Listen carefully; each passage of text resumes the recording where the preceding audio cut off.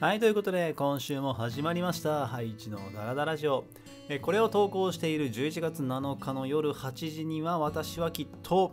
胃が痛い中にいるかもしれませんけれども、っていうのは、今撮ってるのは7日の早朝に今撮ってるんですね。で、今日、あのテレビのお仕事があって、で、7時間ぐらいだったかな、の収録なんですよ。で、それに参加し、多分、8時の段階はまだそれにやってるのかなと思うんですが、うん、やっぱりね、こう、まあ、詳細はね、またおいおい、あの、情報公開 OK になったらお伝えさせてもらいますけど、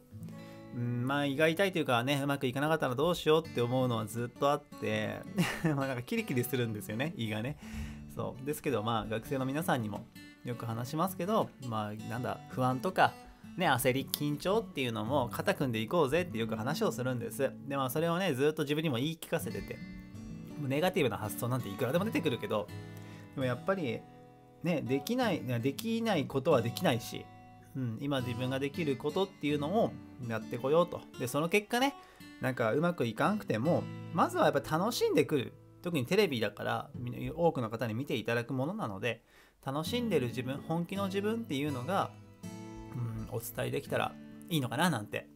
自分に言い聞かせて今このダラダラジオもね撮っておりますがで今日のテーマがですね自分を好きになる必要はないというテーマで話していきます。実はですねこのテーマ自分を好きとか自己肯定感みたいなところっていうのは結構ねあの講演会最近させてもらうことも多いんですけどその時に基本的に講演会って向こうからこうテーマを出してもらうんです。こういうので話してほしいってありますかってでその中ですごくこのキーワードが出てくるようになりました今年。去年もそれなりに講演会させてもらってたんですけどあまりなかったんですよね。でも去年からが徐々に増えたなっていう印象がでかいかうんと思っていてでその自分にね今こう相談もこのフォームを作ってもらってるんですけどやっぱそこでもね多く見るようになりましたこのキーワード。なのでその自分を好きっていうで基本的には自分を好きになる方法を教えてっていうの言われるんですけど私の答えはその好きになる必要はないよっていう答えを今回返していきます。理由も添えてね。でただこれは自分を好きになっちゃいけないっていうわけじゃなくてなれるならなった方がいいんですよ。好きになれるんだったら。ただハードルが高い。難易度が高い。好きになるのは と思うんですね。これ私自身がすごいそれを感じていて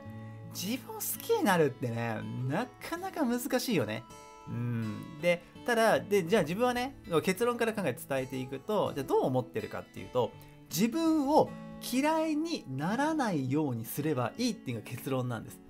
でこれ言うとえって同じじゃねみたいな、ね、感じる方もいるかもしれないです。自分を好きになるっていうことと自分を嫌いにならない。同じじゃねって思うかもしれないんだけど似てるは似てるし方向性は一緒だけどもこれはイコールではないと思っていて自分を好きになるのは難しいけど自分を嫌いにならないっていう発想の方がやりやすい。俺は難易度が低いと思ってます。普段からね。でどういうことかっていうと自分を好きにならなきゃって思うと自分の褒めどころを探します。つまり自分を好き好きポイントを探していくわけよ自分の好きなところ。でもこれってなかなか難しい。特に、えーと、中高生とかの学生時代、まあ、思春期と言われる時期に関しては基本的にその、まあ、ホルモンの関係バランスの関係とからしいんだけどその自己肯定感、まあ、気持ちがねこう安定しにくいしどうしても自分の、えー、嫌なところとかダメなところに目がいってしまう、うん、でその中で褒めろ自分をっていうのは無理って俺が学生の時だったら思うかなと思うんですね、うん、じゃあどうするかっていうと自分を嫌いになるポイント。これをやったら自分に嫌気がさすよねって。いうところのそのポイントを踏まなきゃいいじゃんっていう。風に考えてるんです。いいですか？自分を好きになろうじゃなくて嫌いになってしまう、ね、これを踏んだら嫌いになっちゃうよっていうところを避けて生きていこうというのが俺の、えーと、生き方なの。で例えば具体的に言うとあのー俺子供が2人いるんですけどで下の子保育園なのね。で毎日保育園に送ってってるんですがうちの保育園って、えーと、駐車場から保育園の駐車場から保育園の正門って言い方で合ってるかな。その先生にお願いしますってお預けするところ から、まあ、までちょっとだけ歩くんですよ。ほんとちょっとですよ。12分ぐらいしか歩かないですけど歩くんででそこねその息子と手つないで歩くじゃないですか。その時にまあ結構その歩いてるとこが大通りなのでなんか歩道のとこにねゴミとか落ちてたりするんよ。たまに誰かがポイ捨てしたやつがいるわけよ。でそれをねうちの息子とかもポイ捨てなんですってダメって言ってるからパパ見てって誰か捨ててるよみたいなダメだよねとかって言うわけ。でその時にそうそうあのねそうだダメだよなみたいな話をするんだけどその時にさ自分の中で何を思うかっていうとこれを拾って自分で捨てようっていう選択肢は出てくるんですよ。でも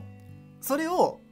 なんかさ分かります？それをすぐ行動に移せない自分もいてまあでも誰かが拾ってくれっかなみたいなのもあるわけ。でそれの時にえーと、拾った方がいいよなっていう選択肢が自分の中に一回出てきたのにそっちを選ばずに、まあ、誰かがとか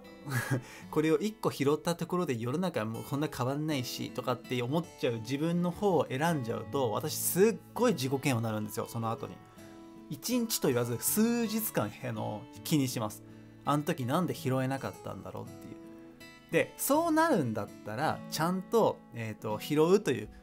ねその自分を嫌いになってしまう選択じゃなくてそっちじゃない選択を取ろうっていう風に思うんです。いやこれねこの話してたらさいやいや普通にスッと拾えよって思う方もいるかもしれない。でほんとその通りなんですよ。あの電車の中でさこうちょっと,、えーと、おじいちゃんおばあちゃんとかが乗ってきた時にスッてなかなか席を譲れなかった自分も昔いて今は結構スッて譲れるんですけどだからなんかその時みたいな感じ。ななんかなんかねこう言い訳つけちゃうのよ自分に。そう。本当はねこれは1個の例でしかないんだけどそういった感じで何かこうね自分が選べる時選択が持てる時にどっちを選ぶと？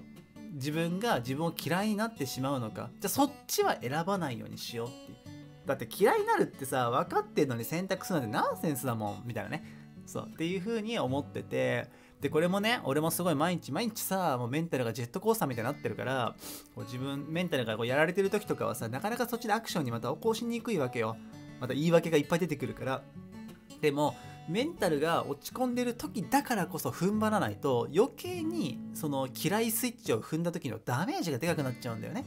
あやっぱダメだ俺。みたいな。そう。なっちゃうから、まあ、その部分っていうのをずっとあの意識して、まあ、生きてる感じです。でこれは割と学生の方にもやりやすいと思っててそう。だから自分を好きになるスイッチ好き好きスイッチを踏みに行くんじゃなくて嫌いになっちゃうねいやいやスイッチの方よ。そっちを踏まないようにしよう。そっちの選択はしないようにしようと。思いながら生きていくと少し変わると思います。いやいやスイッチを避けれるようになったら。うん。これねまあ、まあ、多分聞いてる方も何となく気づいてると思うんだけどいやいやスイッチを押さないようにしようっていうのは結果的に自分を褒められるスイッチを押してるパターンが結構多いんですよ。まあ、絶対じゃないですよ。さっきのゴミ拾いで言ったらさ、ゴミを拾えてる、ね、みんながこのポイ捨てしたやつを、みんなと思って、ポイ捨てした人がいる、そのポイ捨てしたやつをちゃんと自分のゴミでもないのに拾うことができてる自分偉いじゃんっていう褒め褒めスイッチにもつながることもあるわけ。そう。でも、そっち褒められる自分をって思うよりは、うん、自分のことが嫌いになっちゃうスイッチを押さないようにしようと思う方がやりやすいハードルは低いと。思いますので、ぜひね、参考に、参考になるのかな？わかんないけど、まあそういう考え方もあるよって思っていただけたら幸いです。はい、ということで、今週のダラダラジオは以上でございます。今日もね、お付き合いいただきありがとうございました。えー、っと、まあ今日のね、テレビのことは、まあ来週まだ発表できてないかなわかんないけど、もし来週、あの、へこみきっていたら、はいそういうことだったとああでもあれだ来週の日曜あれだな。出演しますってもう言えてる気がする。うーんその時に出演するんだけどちょっとさやっちまったよってなってるかもしれないんですけど。まあまあまあまあ。ね、